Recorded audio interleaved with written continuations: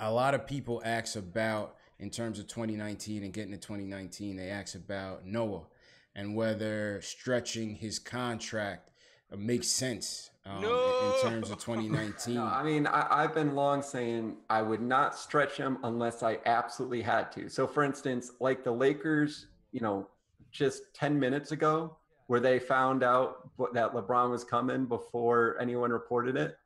If the Knicks find out next summer that we unsuccessfully could trade Courtney Lee, there was no other way to create cap space. But there is a superstar that wants to come here, and the only way to make it happen is you stretch Noah.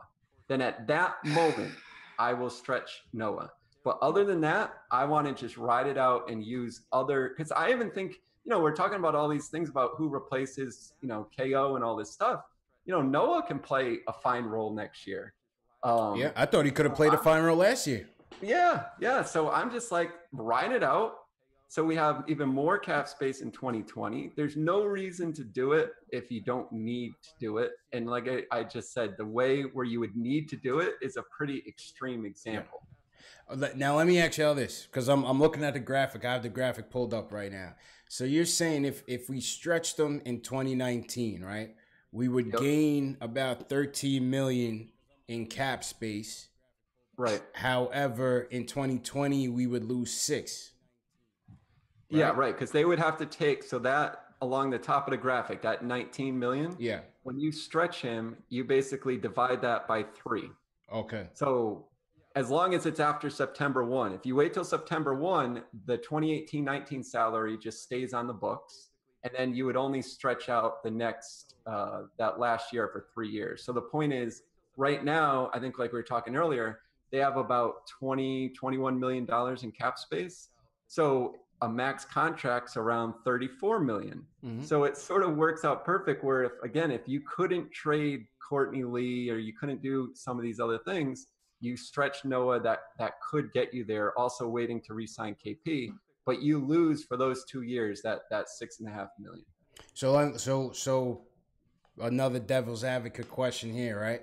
If the cap is supposed to increase in 2020 and 2021 to I think it was about 119 million. Mm. Um, how much is that six million that you are losing worth if the cap is expected to go up?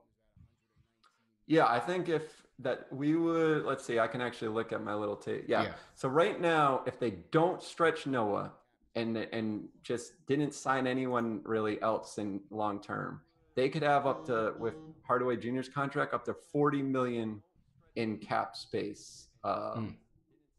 Or you you said in one in 2019 or yeah, if they did it in 2019 when they get the when they get the um, oh I'm um, sorry I was thinking you're saying 2020 no in 2019 that 109 just means I think before the projection was around like 108, so it didn't really go up. The projection doesn't really change the calculus that much.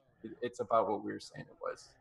Right, but for 2020, didn't they say it could go up to I think 119? Oh, what? Yeah, 116. 116. 116. Yeah. Mm. Right. So what I'm saying is, if it went up that much in 2020, is that extra six million a detriment if we don't have it? If it meant having that extra 12 next year to go after, let's say for argument's sake, Kyrie to get Kyrie that well, that thirty to that thirty mil.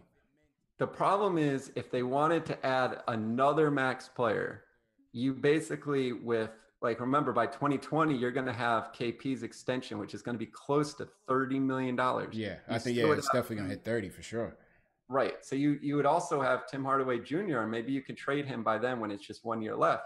But just Tim Hardaway Jr. and, and KP would be like close to $50 million. Oh, shit. So every penny would count if you wanted another max player. So I would say you could use that in 2019 maybe to get a max player. Again, if you don't do it in other ways like trading Lee or waiving some other players. Mm-hmm.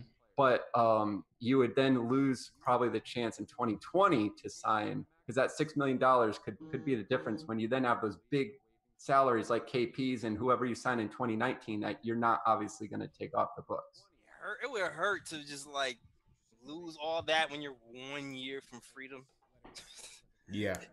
He's like one year from freedom and you stretch him. It's like, ah, I understand though, with somebody big like Kyrie comes, then you gotta seriously consider it. But um, even if that happens, I'm like, I'm doing some tests on his knees, man. I'm having him go to the doctor, stretch out. Stress test. Give him a stress test. Yeah, I'm gonna give him the MPJ treatment. If the Knicks were Whoa, a lot whoa, whoa. closer, Hold on, hold on. I'm sorry.